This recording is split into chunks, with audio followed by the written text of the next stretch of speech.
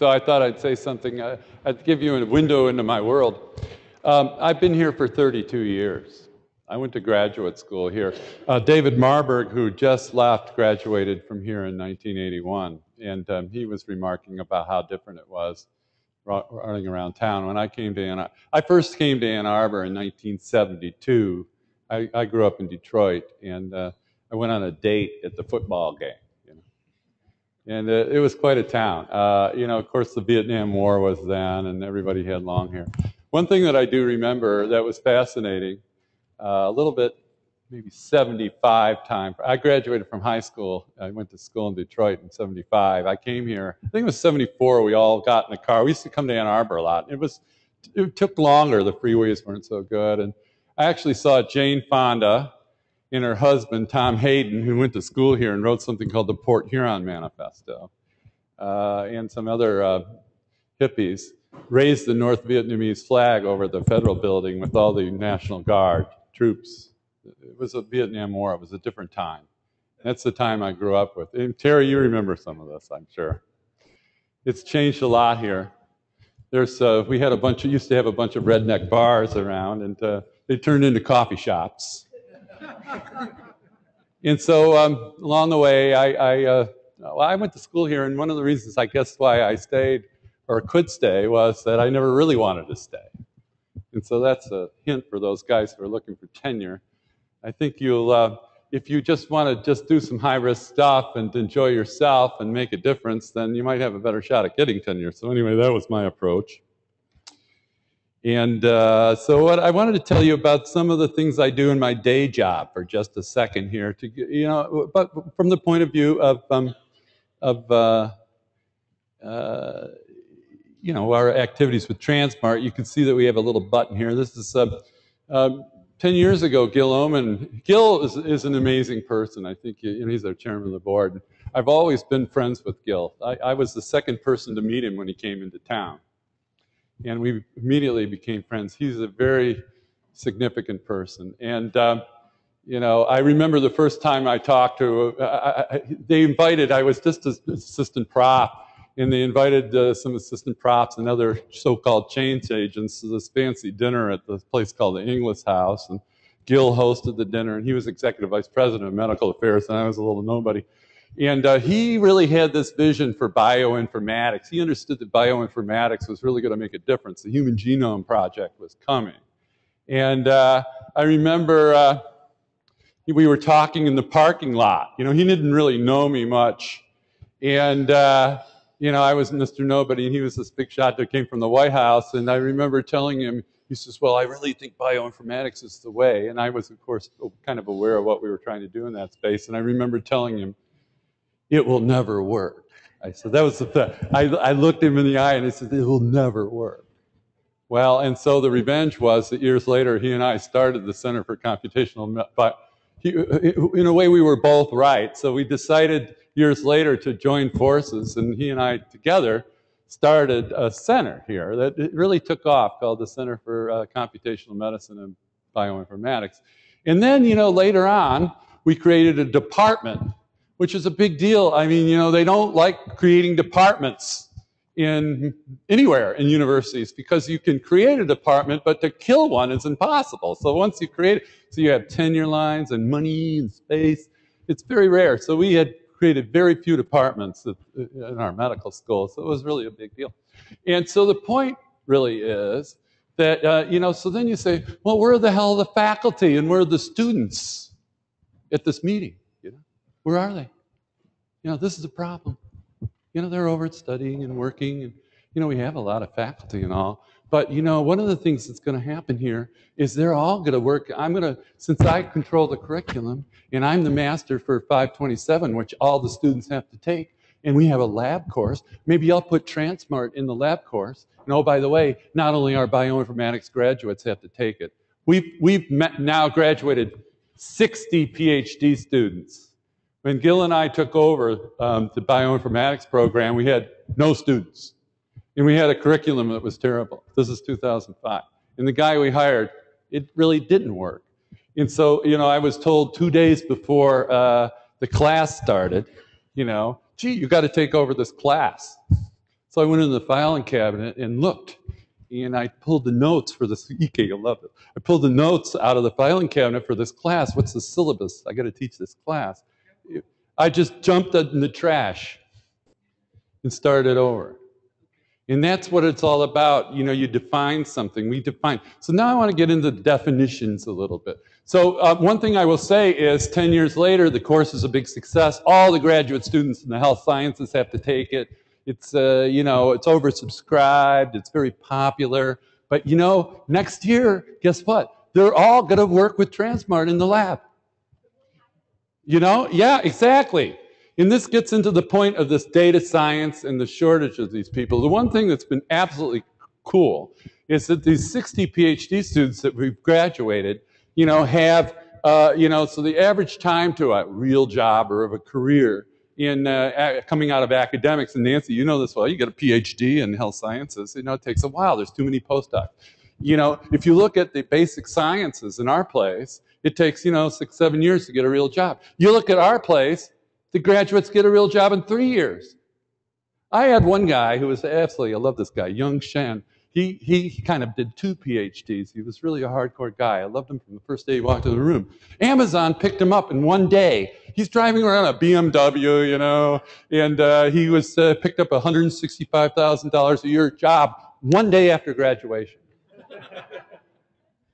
And so this is now I want to get into data science because, you know, in data science, and I want to make the case, I'll show you a little Venn diagram. I want to, I want to make this a funny story. So one of the things that we've done is created this. Got like 30 faculty members now. You know, we've got all these students running around. It's really a success. And we're going to put the translational piece. You know, we do basic bioinformatics. We have superstars in our department. Superstars. But you know, now we're going to do the clinical informatics piece. We're going to hire 10 faculty in that space, and they're all going to learn how to run this thing. While these guys over there put the entire federated data warehouse online for the whole institution, I want you to scrub it up, maybe talk to her, and then make it available to the whole campus so everybody can use these uh, resources. And that's the plan, and I'm sticking to it, and I'll show you the plan. So anyway, I want to bring your attention for one second to this blog posting, excuse me a minute, because I want to shift the focus to data science for a minute. I, and Kevin will send you this link. I want everybody to take a look at this link. It's called Hacking Academia, Data Science in the University. It's a very, very good blog. I'll tell you, this thing is brilliant.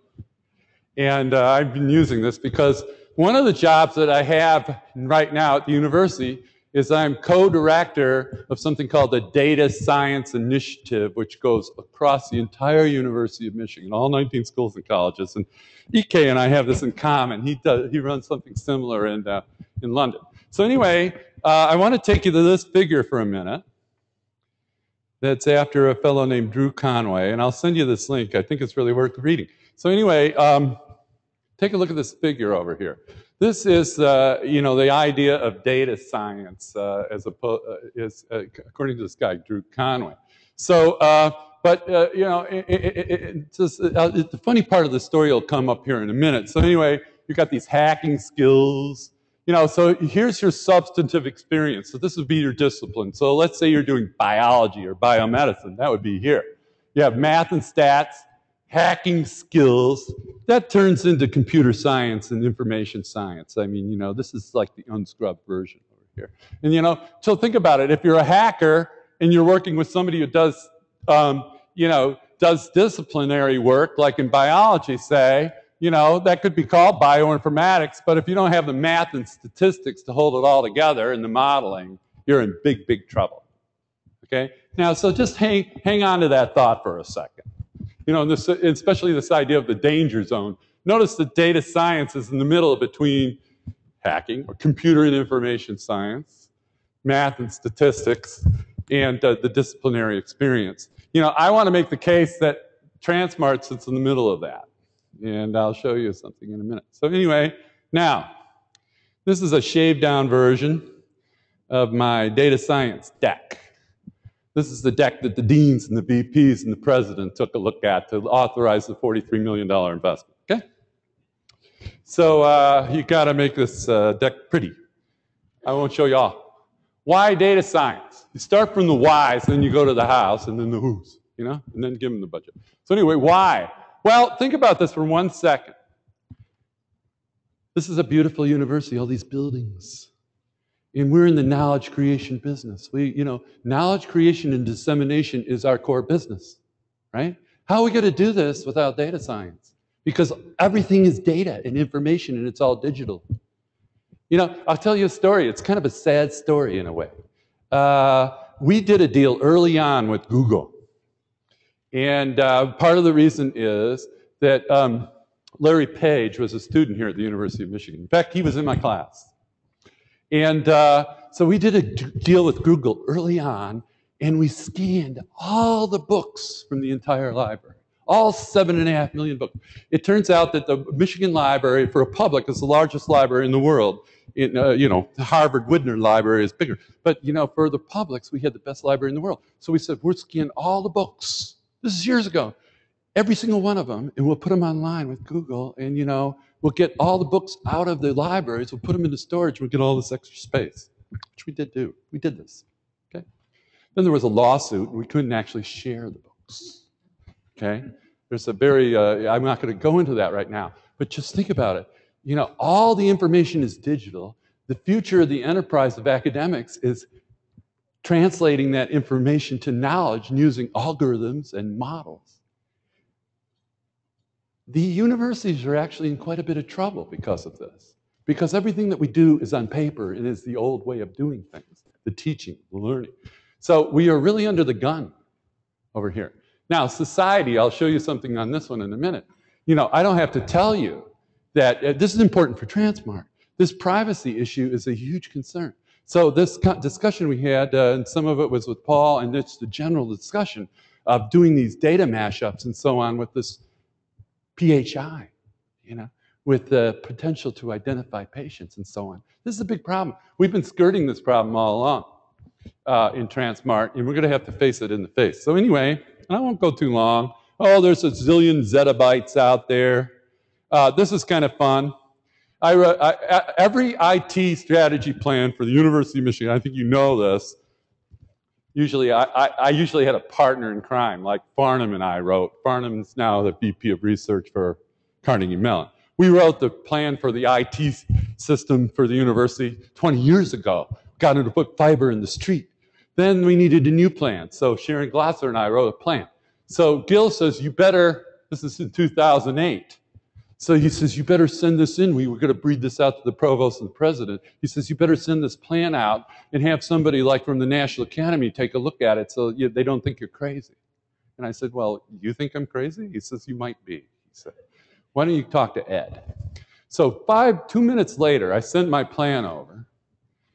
And Ed Lazowska, the Bill and Melinda Gates professor, who is a PCAST member, comes back and says, this data-rich world, a competitive you know, you transport, collect, store, mine, visualize, machine learn. That's where I want to get. Machine learning gets the data. That's the future. That was 2008 he wrote that. Okay? You know, and there was another quote, which I didn't put in this deck, you know, and if you don't, he said, you're toast. This is 2008 It's a reaction to the plan that I wrote with Sharon in 2008. I think we all know this, but I think it would be good to envision how we fit into this paradigm here. I don't want to say anything about it right now. Uh, now, I want you to notice something. This is the official deck for the University of Michigan. The hackers are gone. There's no hacking skills on that deck. and notice, there's no danger zones on that deck.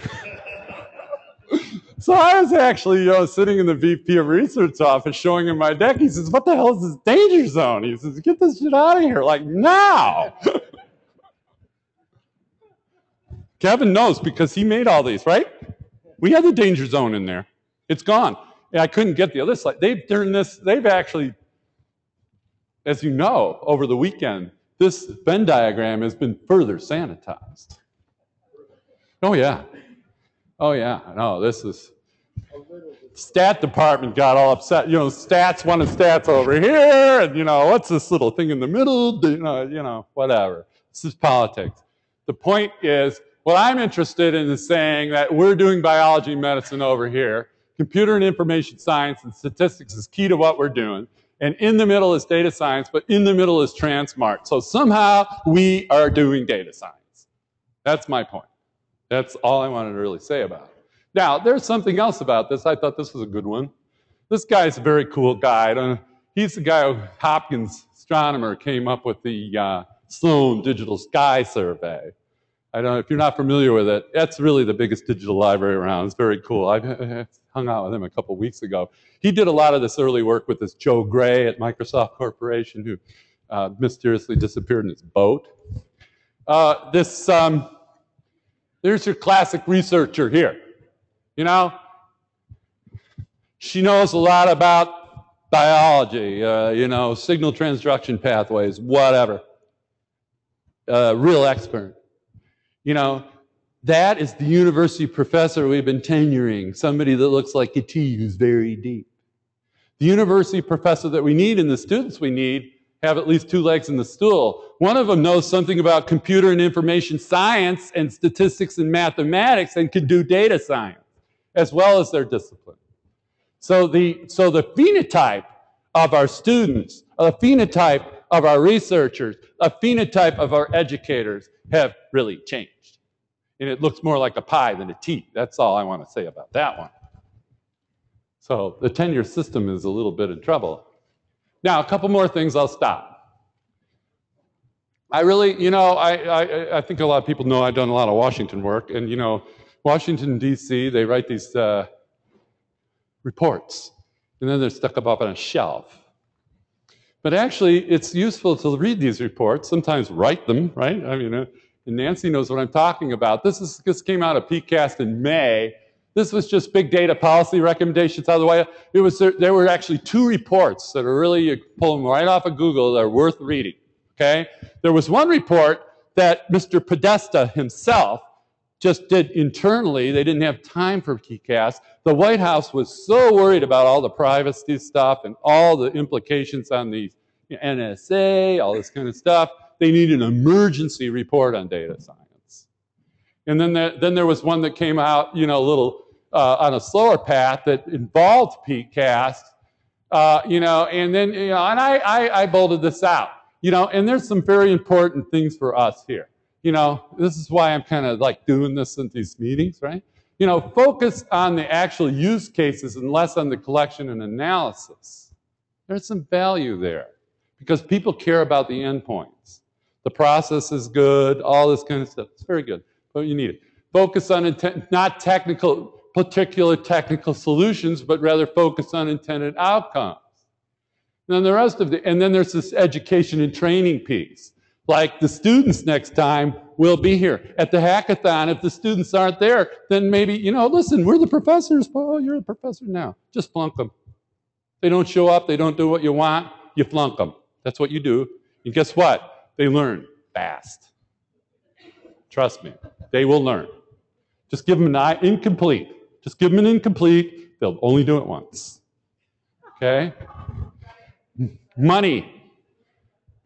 I have a very famous student, uh, former student. His name is Tom Hacker. His name is really Tom Hacker. My wife and I were talking about him last night. He was one of my, I have, have had some wonderful students. Tom's one of them. He's on his way to being a dean now in the National Academy of Engineering. And uh, I've, some of you, Terry, you remember Tom. Well, I flunked him once. Remember when I flunked him? He never did it again. You learn. Sometimes you have to stand up and say, this is what we stand for, this is what we do. So if we want to do Transmart, we're all doing it. I'm very serious about that one. Money. We're all worried about money. The government in the United States of America has not been putting in much money into what we do. I do have some uh, information for you, okay? And that has to do with the 2015 uh, request. And this is coming out of Mike Stebbins at OSTP in the White House and I had a talk with him and Phil Bourne over at BD2K Land, okay, a couple weeks ago.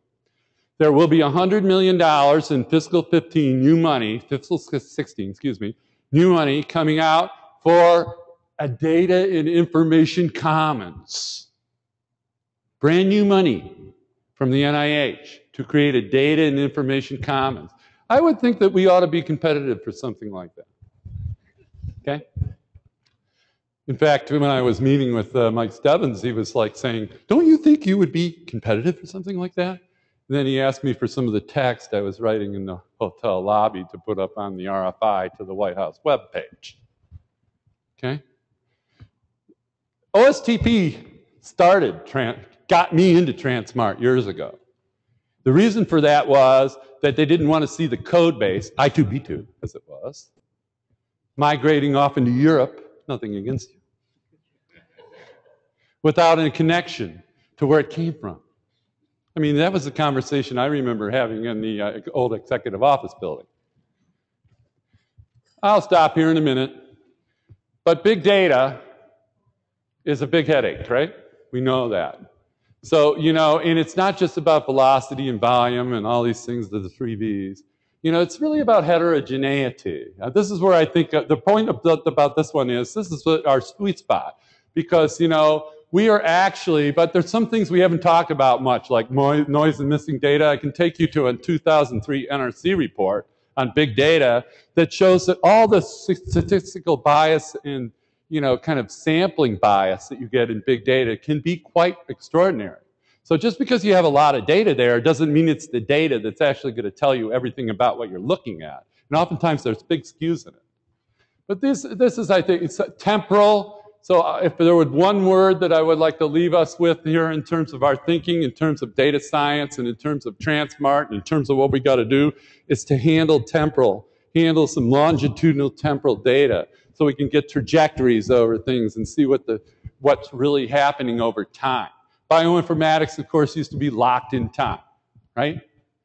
I ran down to interview a candidate for our farm chair, you know, uh, yesterday at 5 o'clock. You know, his thing is clock genes and pharmaco pharmacology and pharmacogenomics. Well, you know, half, half your gene, you know, half your genes that we measured with the microarray are sleeping, right? When you sleep. And there's some new genes that come up. And so there's a time element to what we're doing. Sometimes it's uh, ultradian or circadian. Sometimes it's longitudinal over years as you progress towards some kind of endpoint of disease. We need to put time into this more. Okay? It's very, very important. So this, I think we, we're playing into the sweet spot of this because we have a lot of this going already. And this is boring. But, uh, you know, I hate to end with a boring slide. But, you know, Kevin and I work so hard on it. This is, you know, the kind of stack of services. There's three components to our data science initiative. There's the academic institute. That's where guys like I like to hang out. It's a nice place to be. We get a nice little, we're looking at some space across the street in the old Kraus building with nice windows looking over the thing. It's going to be beautiful down there right? That's where we want to be. But you know, in order to do data science effectively, you need services and infrastructure, right? That dirty little. The good news is that you know we've got about 43 million put away, and you know 19 will be for the data sciences, services, and infrastructure. I'm doing a little recruiting here on the side, okay? And you know, but look at all these different things that we have to worry about. You know, and God knows where's the you know where, where's the scrubbing and all this. So this is a work in progress. But, you know, uh, this is important for us. Why? Because some guy, and uh, God love him, Ken, Ken, one of the really best things that happened, thank you, Jay, I was when Ken walked in the door over here. He's terrific. You know, but it, all I want to say is that it's more than just Amazon Web Services. You know, there's something underneath all that that will allow us to work at scale. I don't know what those little things are. I, we can make some guesses, but we need some kind of, you know, if you want to talk about knowledge management and all this kind of stuff, uh, you know, then we need some kind of information architecture to actually enable the knowledge management, and that's got to be part of our thinking. So um, I'm done now. I mean, I, I, hope this was okay. I mean, no, no, we have to redo it. I was writing these talks every. Kevin said I had seven talks. so now I'm done. Thanks. Thanks, Brian. I guess we, we have a lot of data scientists here looking from those convergences, at least. Well, they say that there's for every, for every uh, 10 data science jobs, and evidently there's 2 million data science jobs available Whew. in the fiscal year economy. There's only one person left for every 10 in the United States. But from the point of view of higher ed, if you can figure out how to apply